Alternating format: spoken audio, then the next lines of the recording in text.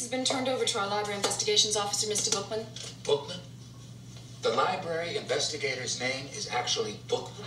You think this is all a big joke, don't you? Let me tell you something funny, boy. I've seen your type before. Flashy, making the scene.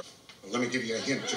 And finding drawings of peepees and wee-wees. Maybe that's how you get your kicks. You and your good time buddies. Well, I got a flash for you, Joy Boy.